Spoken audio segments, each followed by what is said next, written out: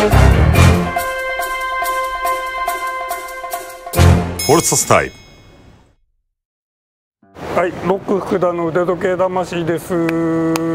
お久しぶりです。すごい久しぶりだ。まるちゃん久しぶり。ご無沙汰しております、ね。ズームで会ってるから久しぶりな気がしませんけどやっと、えー、取材が始められるということで、皆さんステイホームの間はライブでコメント、えー、といろいろ本当にありがとうございました。えーそこでも非常にリクエストの、えー多かった、えーブレゲさんです。ブレゲさんでございますで今日はねちょっと、えーこのハイエックセンターがねちょっとメンテナンスの工事中だったりするんだけれどもお店はちゃんとやってます。はで今日はねそうもうあのブレゲといえばトゥールビヨン。いです。でそのトゥールビヨンがねたっぷり見られる、えーちょっとスペシャルな回になると思います。全部載せですね。ね。はいってるかもしれないけどこのハイエックセンターってあのこう装置グループの7つのブランドが、えーお店があるんだけれども、はい。それぞれが直接アクセスできるということでこれはもうブレレ専用。最高。だからこれで3階のブティックに行きます、乗っちじゃあどうぞどうぞじゃあお先に失礼しまデラックスな感じ。すデラックスな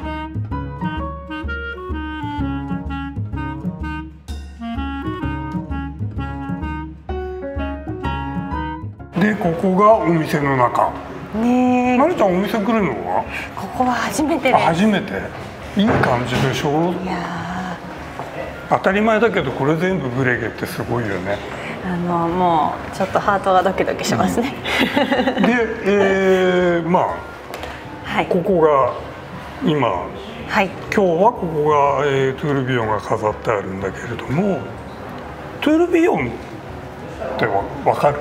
あの分かります。ただどういうものか あの分からない人にも説明しろと言われると私にはハードルが高いんですけどどうですか福田さん？これがねだからあのあのきちっと説明すると難しいんだけれども、はい。あの添付って、はい。あのヒゲゼンマイでこう動いてる、はい。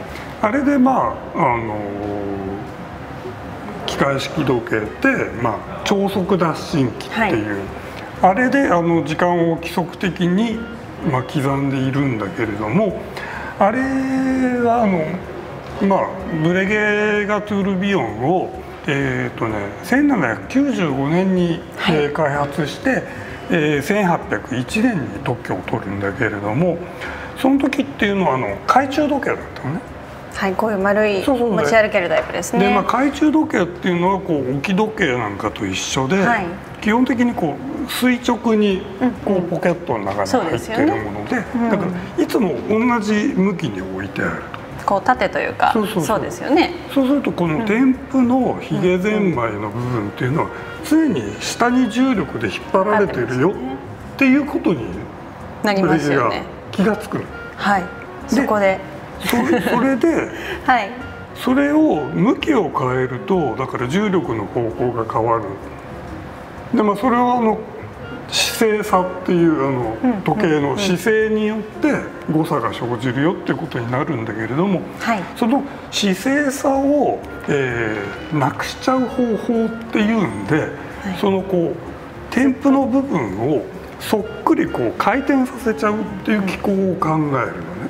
絶え間なく回転すると。そうそう。そうすると常に重力のかかる方向が変わるから誤差が軽減できると、まあ、あの理論的にだから誤差をなくしちゃえるんじゃないのかっていうのがトゥールビヨンなんだけど一番こう繊細な部分を回しちゃうっていうことだからはいは当然大変。いいや技術的にものすごい大変でしょうねでその、えーまあ、超複雑機構はいっていうのを、まあ、1801年、まあ、200年以上前に考えたのがアブラーン・ルイ・ブレゲで。それで、はい。えーアブラーン・ルイ・ブレゲがその1801年の、えートゥールビヨンの特許を取った日っていうのが6月の26日なの。もう間もなくですね。そうそう。で 6月26日っていうのをまあそれを記念してブレゲではトゥールビヨンデイという記念日にしているんだけれども、今年は、えーそれを記念して、えー今度の20日の日から20日土曜日か、はいから2週間、えーそのトゥールビヨンのフェアを、はい。えー日本でね4つか、えーブティックがあるんだけれども、えーやると。ブレゲファンがもうセレブレーションする。そうそう、まあ、厳密に言うとね 大阪の梅田店だけはちょっと日にちがずれるらしいんだけど、はいはいまはい。あとにかくだから今日本に、えーいっぱいそのトゥールビヨンが集まってるはい。ということでね今日はね普段見れないのも見せてもらえるらしい。いやー楽しみすぎますよね。そうそうだから僕もすごい楽しみにしてて。じゃあえーとはい。まず。待望のトゥールビヨン第1弾ですね。1本目。これが、まあ、クラシックのあのメシドールってはい。いうモデル、美しい。ででもメシドールってどんって意味なんですか？ね、それはねさっきもう一度確認したんだけれども、まあ、さっきそこで言ったように、えーアブラーン・ルイ・ベレゲが、はい。えーまあ、トゥールビヨンを、えーこう開発して、はい。でその、えー特許を取ったのが1801年の、えー6月の26日。はい。現在でいうところの。うん、で、はい当時はそれはあの、えー共和歴 というあの、まあ、今の違う暦ですかね。そうそうそう、はい。でその共和歴で、えー言うとその6月26日がメシドールの7日7日になるんですって。じゃあ月の名前のことなんですね。うんなんですだから要するにその象徴的な名前を、えーつけた。だから要するにそのまあトゥールビヨンの生みの親の、はい。えーブレゲの、はい。えーそのブレゲにとってのさらにそのトゥールビヨンを代表する作品がこれと。はい。いうことで、まあ、全部フルスケルトンになっていて。もうずっとこれ私何時間でも眺められそうですよ。そうそうもう時計好きだとこれであのご飯が3000食べられるっていう。わかります。ね。綺麗でまあこれは手巻きで。はい。で隣にあるこれが、まあ、自動巻きであの5日巻き。まああの5日間動き続けるという。出張に行くのにちょうどいい感じですね。そうね。あの出張して、えーお家に帰ってきてはまだ動いていると、うん、まあクラムまたクラシックな、そう、これもねいい顔で。はい。このね業者がまたいいんだよね。まあブレゲといえばブレゲといえば業者ですもんね。そうそうそう。あのーだからまあご存知の方多いと思いますけどこの業者ダイヤルの業者彫りっていうのを、えー考案したのもブレゲなんかもう時計の元祖っていうかこういろんなものを礎を作った方ですよね。そうそうだからアブラン・ルイ・ベレゲってあのよくその時計の歴史をねあの200年、えー早めた、えー2世紀早めた男とかって言われているけれどもあの例えばこうこれブレゲ針うん。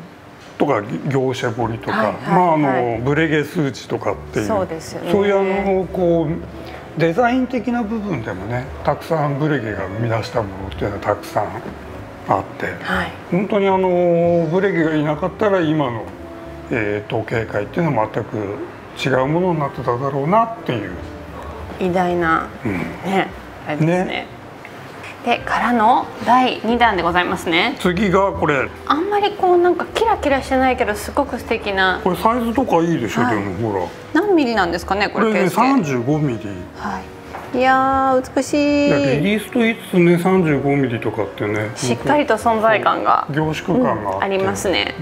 うん、僕もいいなとかって思うもん。はい。もうこのくるくるくるくる回ってるのがやっぱりトゥールビヨン見ちゃいますそうそう見ね飽きないよねずっと見ちゃいますよ。でこれがなんとなんと。はい。なんかすごい高そう。それ何ですか？トゥールビオンのパペチュアルカレンダー。おほはあ値段聞くのが怖い。ねすごいよね。本当に全部のせいみたいな、はい。超複雑。機構の超複雑機構っていう、複雑回帰そうそうそうな 感じでございますが。しかもスケルトンで全部見えているという。そうですね。いやすごいよね。ーねなんかこの文字盤もスケルトンそうそうそうそうねそう。これ。そうという感じで、はい。うん、なんかこれは裏がぎっしりも詰まってるのがわかります。そうそうそうそう、うん。いいよね。いやいいです、はい。ただ一言いいです。これがまた超複雑な。なんか見たことがないものがいっぱい詰まってる。っていうあのまあえー三角錐はいはい。という意味なんだけど、はい。あのチェーンフィジーっていう 聞いたことある？鎖引きっていうんだけれども、はい。こう三角錐になってるところにこうチェーンを巻いていって引っ張るっていう、ほえー仕組みになっていて、はい。まあ、チェーンっつったってこの このちっちゃいムーブメントの中のチェーンだからものすごい小さいんだけれども、はい。えー香箱はいはい。ゼンマイね、うんうん。あれの力っていうのは全部巻き上がってる時とだんだんほどけてる時って、えーこう物理的に力が変わると。そうですね。でその力を均一にするために香箱から、えー出ているチェーンがその三角錐の、えーところに巻きついていくんだけれどもそのボトムの太いところに、えー巻きついている時と上の細いところに巻きついているところとかで要するにテンションが変わる。それでその香箱の、えートルクをね、はい。えー平均化しましょうっていう。なるほど。なんてわかりやすい説明。でまあ口で言うとまあそうかって言うんだけれども、この小さい中でい。やそのちっちゃいチェーンをうん。こう作って巻いてるっていうそこがすごくてね。いやーねこの世のものとはちょっと思えないですけど。そうだから その話を聞いただけでご飯が午前食べられる食べれますね。だってチェーンって聞いて私あの自転車の前と後ろをつないでるやつぐらいしかわかんないですもん。でこれもすごくて、いやー綺麗。何それ。これはねあのイクエーションって。エクエーションはいイクエーションっていうのはあのいわゆる近似差ね。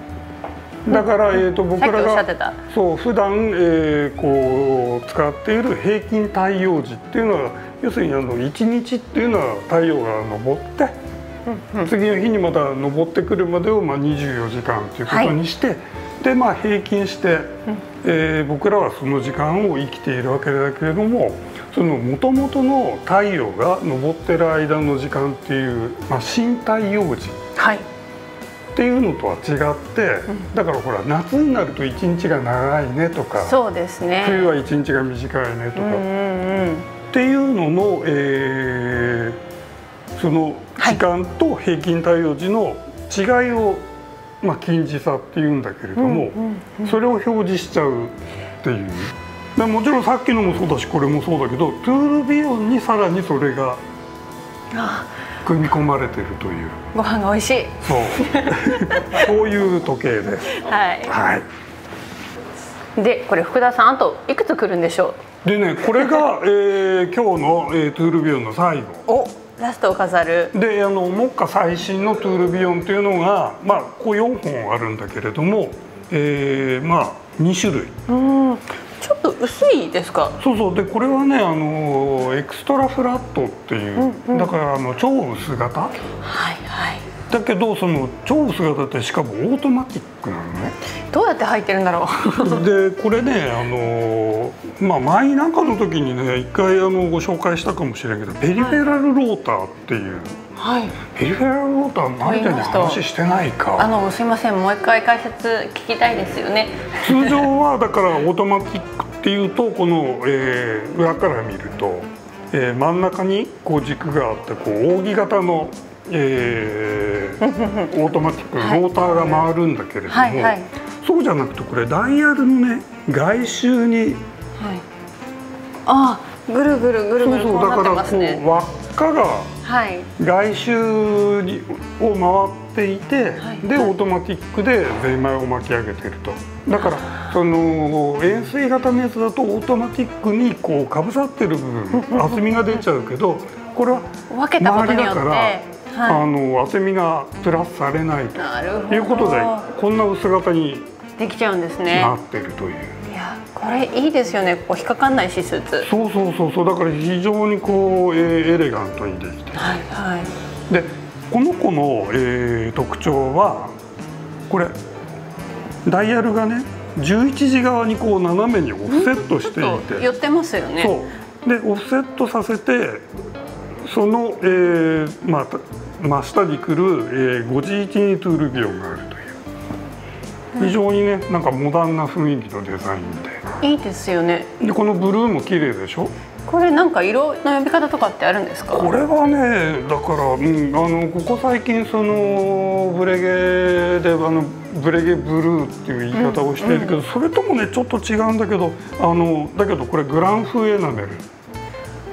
あの本当のあの、はいはいはい。ハンドメイドのエ私ナメル初めてで見ました多分、うん。そのエナメルは。でこっちがね全く同じその、えーペリフェラルローターの超薄型なんだけれども、でこれはあのここにね、えーパワーリザーブインジケーターがついてるという、これもとっても素敵さでしょこれはねえー、と80時間かな？うん。ぼちぼち、だけどね、はい。うん。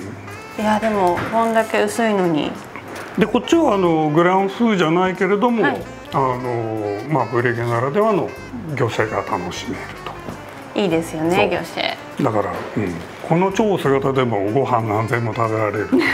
もうダメだ今日ご飯が進んじゃって。そうそうそう今日はお酒じゃなくてご飯になってるっていう。ご飯です。そう。えーそういうことで、えーペリフェラルローターはね実はねあのそんなに新しいものじゃなくて昔からあるのね。